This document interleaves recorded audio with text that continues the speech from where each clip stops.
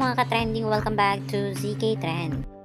Talaga namang pinagkaguluhan at tinumog ang branch ng Dunkin Donuts sa Tagbilaran City, Bohol na kung saan nga ay karoon ng meet and greet si Bel Mariano.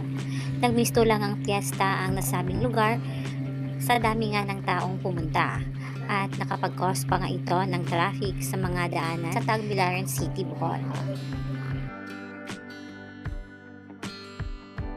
Hindi nga inaasahan ito ng mga bablis na ganito nga kadami at kakapal ang mga tao na pupunta sa nasabing event dahil nga ang Bohol ay isa sa pinakamalayong lugar nga sa Maynila at hindi lubos. Akalain nga ng mga bablis na marami palang bablis na taga Bohol.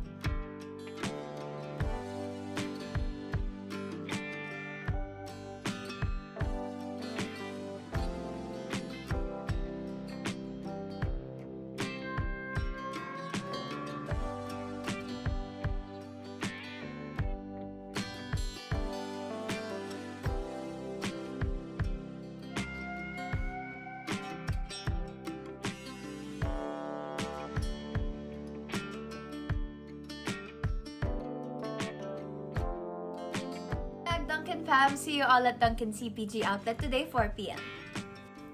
Maayong buntag Duncan fam, see you all at Duncan CPG outlet today 4 p.m. Maayong buntag